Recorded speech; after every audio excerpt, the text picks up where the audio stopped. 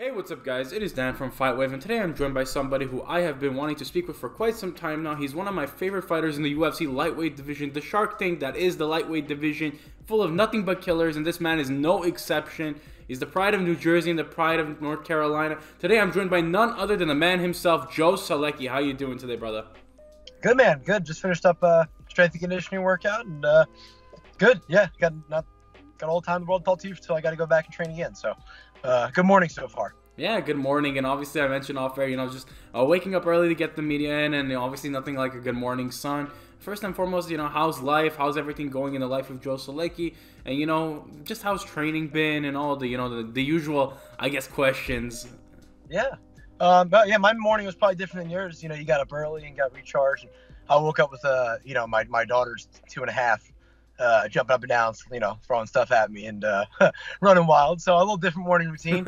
uh, but yeah, life's been great, man. It's, it's been amazing. Um, yeah, spending time with my family and uh, my daughter's growing. I got a son on the way in two months, and uh, just training. You know, training as much as I possibly can uh, every single day. You know, just uh, nothing really changes for me. It's always kind of the same schedule all year. Is, uh, you know, the locations I change kind of, tra- uh, or locations I train kind of change depending on, you know, if we have a fight coming up or not. I'll go to um, you know, my head coach Jeff Jimmo's like three and a half hours away from where I live, so I'll do most of my camp up there these days.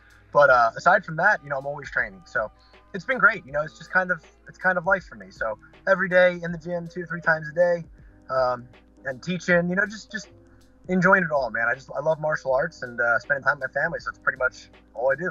No, yeah, definitely. Whether it's you know being a coach, whether it's being a train, you know, training yourself. I feel like, like you mentioned, that sort of consistency and rhythm that you've kind of developed for yourself over time, and you've kind of built up a, a schedule for yourself, and not a, kind of like I feel like in the life of fighting, uh, as opposed to, nowadays, as opposed to like you know, um, I guess the best way to put it is like now when you look at fighting, it's nonstop chaos. I know a lot of fighters are just kind of scrambling to find themselves all over the place, but really being locked in and being fine and ready to just fine tune little things and not make monumental changes. Like you said, you know, whether it's camp, you know, you'll you'll make the drive out to your head coach, or you know, whether it's just training, strength and conditioning, you kind of have structure, which I love to hear. And just talk to me, obviously, about like you know, like you mentioned, that structure and just being able to to be around your family because I know that a big part of your identity is being a family man and being a father and I know that that's paid div- I can only imagine the dividends that that's paid for you as a fighter as a person as a human being. You know just having that uh, kind of family roots tied in and improving yourself as not only a martial artist as a competitor. Talk to me just about that a little bit you know obviously uh, like you mentioned you have a boy on the way congratulations first and foremost you know that's amazing to hear. And uh, just talk to me just obviously about the the mindset of just you know um, just the power of martial arts, you know, being able to pass that and bestow that upon your your daughter and you know hopefully your son when, when he you know grows up and you can you know pass that on to him. Just being able to have your family by your side in this journey, you know, having them be a prevalent part of your of your training and of your lifestyle, and just being able to, like you mentioned, it was a chaotic morning. Morning, woke up scrambling to get the daughter, you know, situation sorted. Just uh, you know, life as a father and just how that's paid dividends for you as a competitor and a human being. Yeah, absolutely. I mean, there's so much there. It's uh, it's been amazing. You know, I, I spent the, I guess the first half. You know, I hope it's not the first half. I hope to fight a lot longer. You know, I fought in about eight years now. I'd love to go another eight to ten. You know, I feel great. Um, you know, I think I'm entering my prime, so we'll see. But uh, I don't want to say the first half, but you know, the first half of no, the fights I've had so far. You know, fighting from a place of like, um, I don't know, not mad at the world, but just trying, you know, trying to prove you know, maybe when you're starting out in a crazy sport like this or a crazy, you know, career path, it's not a career path when you're an amateur or early pro, but you treat it like that. Um, just trying to prove people wrong. You know, maybe I didn't have people in my life that were supporting me the way I wanted them to or whatever. And that's, that's a fine fuel, you know, but that's a very, it's good when you're young, you know, but I wouldn't want to be the 30 year old who's angry at the world and bitter and, um, you know, harboring that, trying to draw fuel from that source, you know. Um, so really, I think, of course, first and foremost in all of my life, like everything – good in my life comes from my faith, you know. Um, but from a worldview, you know, becoming becoming a father was a huge turning point in that because, you know, not only is this my means to provide, but also, um, especially the last fight, I was thinking about it with with the son on the way, especially because, you know, life's tough for people, but especially you know, as, as, a young man in this world, it can be tough to, to find your way, and um, you're expected, at least by old by old standards, and I think something we shouldn't lose. Um, you know, as we progress forward in, in the world, is like to, to have a certain element of grit to you, you know, whether you're a fighter or not. Um, so I, I, just think about those things now when I'm putting on performances and um, how I'm approaching the fights, even. Like, I've obviously, you know, coming on that first contract or coming off of also, you come back and you're fighting sometimes conservative just to eke out wins. And I think about that stuff now. I think about really attacking, you know, what's in front of me and um, appreciating opportunities and, you know, wearing out rather than rusting out from just sitting around, you know? So um, it, it's, it's that, it's exactly that. And when you talk about martial arts is, you know, everything in my life comes from God, but the vessel that I feel like uh, he used to show that to me in my life was martial arts. You know, I met my my wife through, you know, a coach at the time who was going to the bar too much, and I don't drink, but I was going there, kind of keeping him company, hanging out. Like uh, all my friends are through martial arts. You know, uh, my kid, my, my daughter comes to to watch me teach and train all the time. Like it's just kind of like my way of life. So uh, yeah, it's just been a blessing, and and I do hope that they'll have that element in their life. I don't want them to be fighters or anything like that, um, but just to you know to have that confidence in knowing how to defend yourself, even in uh, you know, I, I train since I'm a little kid, so I, I, think of stuff like peer pressure. You know, in my mind, I chose at a young age because of my coach, John Hassett, growing up, did the same, and I wanted to emulate him. He never drank, he never touched a drug, he never did anything like that. So I took that challenge, and in my mind, it was always like, I don't have to cave to peer pressure because I can defend myself. Like in my crazy brain, I was like, well, they can't hold me down and make me take a sip of their drink, or you know, whatever. So yeah.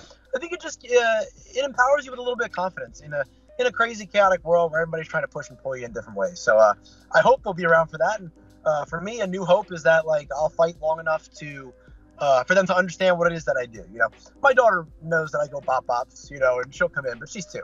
Yeah. So it would be cool to, to be fighting when they're eight and nine, and you know maybe old enough where they can come to an event or something. Uh, probably on the bucket list now. No, yeah, definitely, and I love that you mentioned that almost like uh, a gift from God Himself. And I know, I know you're a man of faith, and obviously I'm a man of faith myself. So like, I appreciate that message all the more, you know. And I love that you mentioned it almost as like a vessel, you know, a, a gift from God Himself and a vessel from Him to be able to to showcase and do what you love. And like you mentioned, uh, fatherhood and you know just having a being a family man getting a newfound purpose and fighting for someone beyond just yourself as not only as a competitor but as a human being and showing them you know even that even if they're not going to be competitors and stuff, which I would hope not. You know, I know a lot of fighters are kind of against that. You know, they're like, hey, I'm fighting, but you know, I don't want you to fight. I want you to go to school, get a good education. You know, live the life that you're meant to live. You know, fighting was just kind of uh, something that came to me, but like I love that you mentioned that. Obviously, like um, just the, the lessons that you get from martial arts. Like you mentioned, you've been training martial arts for such a young from such a young age, and now you know being able to pass those lessons on and really you know show to them that you know there's so much more to this art. It is it is an art of violence but it is also an art where you learn so much more about yourself. It's a, it's an art of self-discovery and being able to you know pass that and, and, transcend that into family lessons into all of these sort of, sort of different dynamics and components in your family life. I feel like it makes you a, not only a better competitor but a better human being. Like you mentioned kind of uh, reshaping your your your you know mindset in the fight game giving you a newfound purpose and just being able to, you know, oh, from a guy who was being angry at the world, like you mentioned, having some sort of grit. I feel like that's an essence that's lost in our society now is like having that kind of work ethic and determination to keep pushing through even the worst of times and having that grit from martial arts and stuff little things like that it's these little sub lessons that we pick up and we add to ourselves and we and to pick ourselves back up pick up the pieces and really develop as human beings so I love seeing that, and I think that we've seen that in your performances. I think definitely because, uh, you know, obviously on a two-fight winning streak, and your last performance was a statement, I think, to the division and really just to your mindset and evolution in this sport. So talk to me about that fight. Obviously, a little get a little bit against Carl Deaton the third. You know, that was a, that was a performance that I think a lot of people were like, "Wow, we did not know Joe had that in him." But I think that for fans of uh, true fans of the sport, we've known about your grappling prowess for quite some time. You know, whether it was you know fight. I think that you know, obviously, you know, there was fights like the Jared Gordon fight, where, which were very close. But then there was also other standout performances that I thought were really nice to see. Talk to me just about, obviously, in your eyes, the evolution and you know, always just having the respect of the fan base. You know, I think from a hardcore perspective, a lot of the fans have been riding with you for you know years now because of what you've been able to to culminate in the grappling prowess that you've been able to showcase. So talk to me about just uh, maybe seeing some of those evolutions in your in your game, maybe just a mindset shift, or maybe just a, a shift in how, how your skill set has kind of improved over time in that Carl Deaton fight, or in your last fight, I should say. Yeah, absolutely. You know, um, there's a couple things. I mean, the the big thing was it's just time, right? I mean, getting those reps in the octagon, it really is learning on the job. Like, um, I was very fortunate to fight at some bigger promotions on the on the regional scene, CFFC and Ring of Combat, and they do prepare you, you know, to a certain extent. But there's nothing like being in the UFC. Even, you know, uh, five out of my six fights in the UFC have been in the Apex, but still, it's a whole different it's a whole different vibe. And you know, getting in there with guys that are battle tested. And uh, you know, Deaton was a last minute replacement, so of course your mind's gonna play tricks on you and say, oh well, maybe he wasn't UFC level or something like that. But you know, his record really spoke for itself, um, and no one had ever finished him. So I do take pride in that. But it wasn't even the fight as much as it was the camp. You know, I really felt like I hit my stride. I did, uh, you know, 90% of my camp uh, up at Jimmo with our head coach Jeff Jimmo, and uh, really being around him was just something eye opening. I mean, I've been around him for you know five plus years now, but uh, our trips were a lot shorter back in the day. You know, now as the you know this is my full time career and it has been for a while, but you know as, as you get on your second contract, your third contract, you're able to you know put more into your camp, and I'm able to spend more time away from my family, and you know uh, you know invest more into my camp. So. Uh, I was spending the entire week up there and, and staying in his house and stuff, and uh, it was just understanding, you know, a lot of how he thinks was rubbing off on me. You know, I've always been a very um, results driven person. As much as I love martial arts, like I'm a martial artist through and through, but uh, I tend to be a perfectionist, where he's more, uh, you know, concerned with progress, and that's been huge for me. So focusing on the process much more than the outcome, especially in a crazy game like MMA. Um, and, and you see a lot of guys. I read a lot, you know, and uh, when you read about like Penn State and Cael Sanderson's coaching approach, it seems that they follow that as well. Like they work on, you know, progressing their technique, you know, getting better at wrestling and their mindset. And then when the fight comes, the results take care of itself rather than being like, I've got to get two takedowns every round today or it's a failure. You know, it's no, I got to just do better today than I did yesterday and get the next best thing and the next best thing. And uh, that really helped me. And in, in that, in training in that way and working on new techniques and just kind of evolving our game, it really, I've never felt like that in my entire career. So uh, that's been huge, you know. And, and, the other thing I think is is the maturity. You know, I've been in there now with guys, uh, everything from guys who have 20 plus fights like uh, Matt Wiman and Jim Miller, you know, as the most fights in UFC history, down to guys coming off of uh, you know the regional scene for a short notice call up like Deaton. So I think all of that experience lets you know what fighting at the highest level is and what it isn't. You know, my boxing coach Chris Goud always used to say, a punch is just a punch and a kick is just a kick. Now we know there's different degrees of that. To, you know, who can do it faster and harder and all that. But all these guys are human, you know, and that's what I've seen. Like, it wasn't all that different fighting Deaton, whose first fight in the UFC, than it was fighting Jim Miller. You know, uh, the difference lies in in me and the game plan, right? So um, it's just that maturity to know that anything can happen in there. Anybody can beat anybody on any given night, and uh, with that approach and the training we had, it's almost like that. Why not me? Like I think I went out there with a different uh, different level of confidence, you know, but also at the same time, a whole new reverence for fighting. Going, I know this man can beat me if I walk into the wrong shot, but that's not going to deter me from fighting freely and going for the win instead of trying to be cautious. So uh, I guess that's just maturity in this game, you know. No, yeah, definitely. Like you mentioned, that that maturity comes with just experience, and I love that that idea and that mindset of really just going in there trying to be better from the day before. And I think that that's a true martial artist mindset because we're we're in a sport where I think ego is the devil, and obviously, you know, in a sport where trajectory, you know, everyone's trajectory is different. Like I, I was talking with uh, another fighter from you know Australia. Obviously, like, he came up at the same time with guys like Robert Whitaker, Alexander Volkanovski. But that that journey, that you know, to get to the UFC, maybe for you it might be 10, 12 years in the making. For other guys, it might be five, six years. But being a part of that journey and just being able to to level up and enjoy the art of improvement as opposed to the art of you know the reaping the rewards. As a, I think that that's all the more difference. You know, nowadays I feel like the essence of being a fighter is kind of lost, and you know, with the in the age of social media, we live in an era where you know people, everyone thinks they can be a fighter, everyone thinks they can be a competitor, but not everyone can be a martial artist, and I think that's a very different you know mindset and approach, and I think that that's something that I see a lot from you know UFC competitors, from you know um, Bellator competitors, one competitors, PFL, and I think in the art of mixed martial arts, we see a very, you know, a varying difference from boxing, where obviously now there's components like influencer boxing, which is like, uh, in, in its own right, it has its own place, but I think that the essence of being a martial artist reaps none, no truer and no you know is no more greater than in mixed martial arts and i think that that's something that we see and like you mentioned uh, you know, obviously you're at that quote unquote halfway point in your career, but it doesn't feel like a halfway point. You know, it feels like you're you're still evo- you know leveling up. You're still seeing evolutions in your fight game. You know, 10, 12, 13, you know, however long it goes, you know, however many years it goes, you're still seeing evolutions, and a part of that journey is improvement and you know just getting that experience, understanding, and it's not even just more so uh, you know, in how your physical skill set is, how your fighting skill set is, but also your mental game and uh, having that mental edge, being sharp mentally, and you know, understanding that the bright lights are just the bright lights. What you're going in there to do is no, none other than you've been going in there to do maybe 15, 16 times thus far in your career, and just being able to to be in that moment and really doing it for yourself. You're not just doing it for the fan base. You're doing it for yourself, getting in that octagon and enjoying the journey. And a lot, a part of that journey, I feel like, is is recognizing milestones along the way. Like you mentioned, whether it's a belt promotion, whether it's you know uh, regional titles, whether it's anything like, like that. But for you, I think that's something that I felt like really stood out to me as a, as a more like a of a perspective changer was you know getting your own trading card. You know, and that's something that that for me it, it, it may not be obviously a martial arts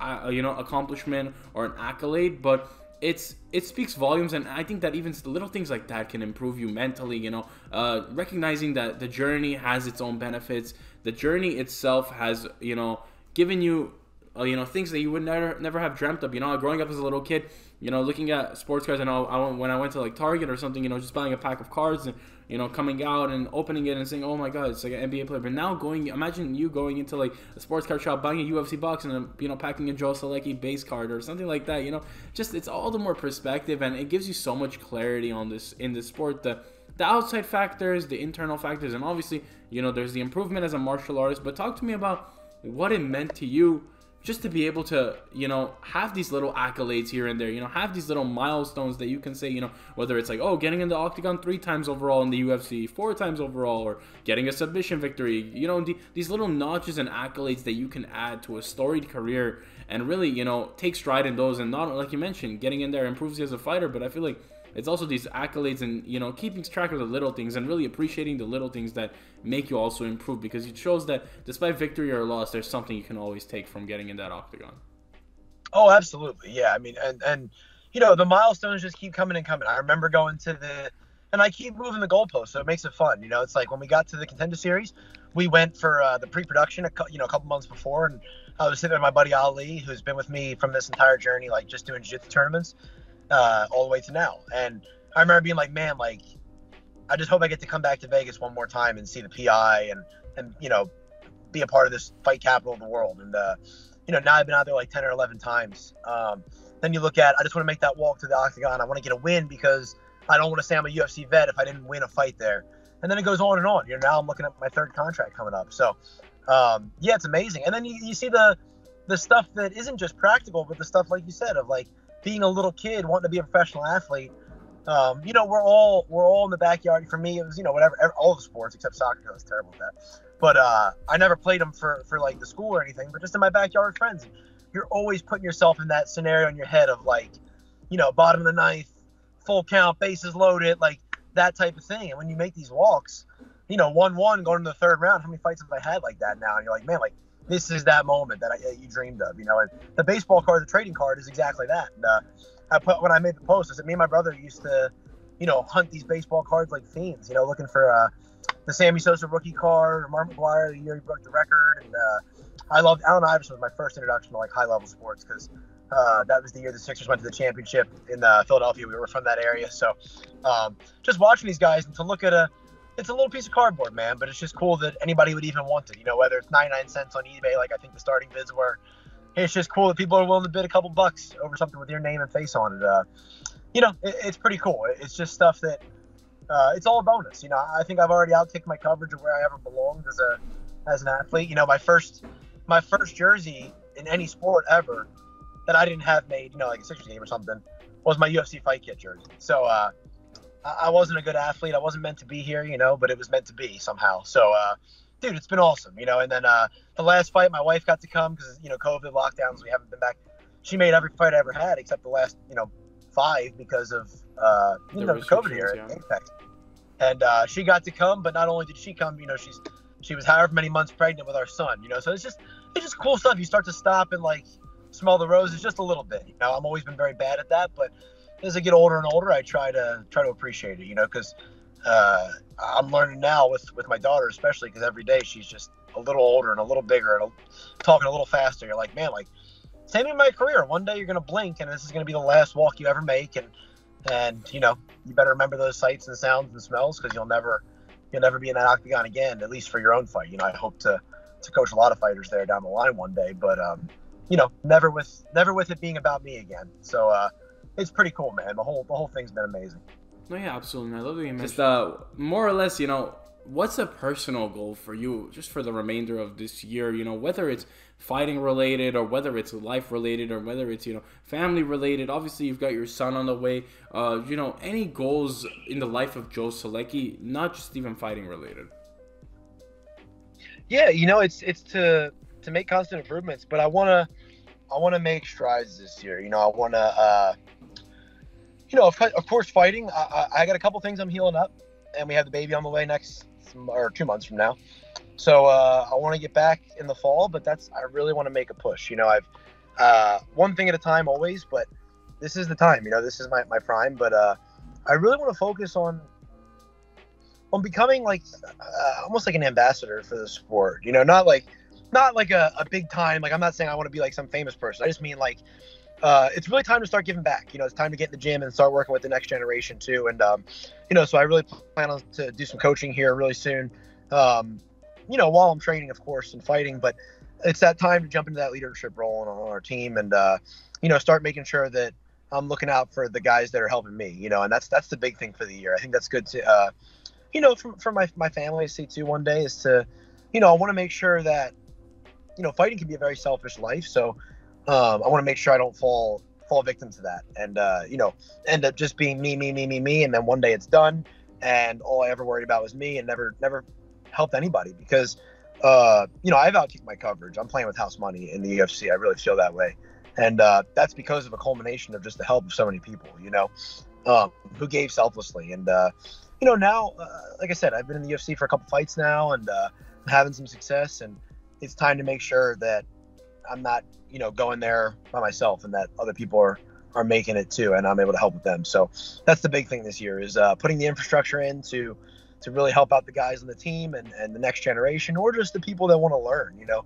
uh, just people that want to do martial arts for fun. It's time to start, you know, making sure that the same thing that changed my life in martial arts is, um, you know, being pedaled down to other people and and helping them and pulling them up as well. And that's that's the big thing for the next the next couple years while I'm fighting. You know, and I really hope that uh, not only can the act of fighting, you know, work out well for my family and my wife, my kids, and myself, but also like maybe be a little source of inspiration to the people that are, uh, you know, struggling or you know starting out. And you know, we have teammates that are you know working their nine to five and they hate it and they want to get out of there and they want to they want to make it to the next level and make a career out of it or you know whatever it may be. So maybe I can uh, you know help them out. That, that's the plan.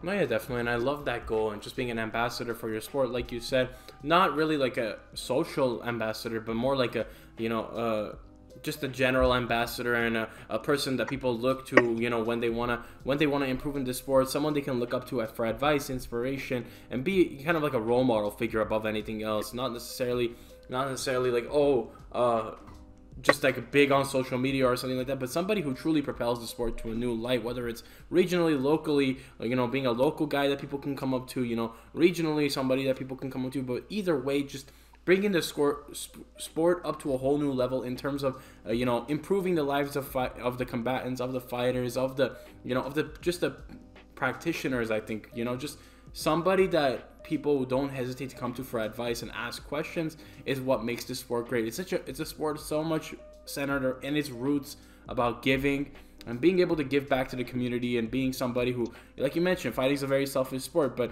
if we can you know share our secrets, if we can just give a little bit of ourselves back to the sport, it makes it all the more powerful and all the more better. And I thank you so much for your time, Joe. It's been an honor to sit here and speak with you, and I look forward to watching your next fight, whenever it may be. Like you mentioned, uh, nursing some injuries and obviously with the boy on the way and uh, once again congratulations on that you know uh, hoping for a you know smooth and you know healthy you know uh, delivery and just everything of the sort. You know it's been an honor to sit here and speak with you. And you know to the fans at home watching this thank you so much for your time. Do be sure to check out Joe Solecki on Instagram and check him out uh, in the in the UFC octagon whenever that may be you know. Uh, easily one of the best grapplers in the in the lightweight division right now and one of the best fighters uh, in the lightweight division period. I mean just that he's been doing amazing things in the division fighting some of the biggest names and more importantly staking a claim for himself in the sport as, as a great ambassador of the sport and a great representation of what makes martial arts is truly all about. So, with that being said, guys, it's been Dan from Fight Wave. Hopefully, you guys enjoyed this interview and like, comment, subscribe, and